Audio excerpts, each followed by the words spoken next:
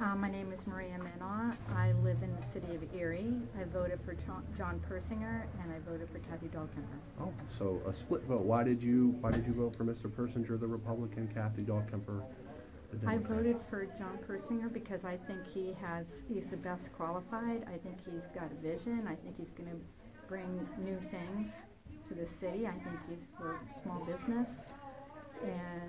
And I mean, what he's planning on doing will help the small businesses.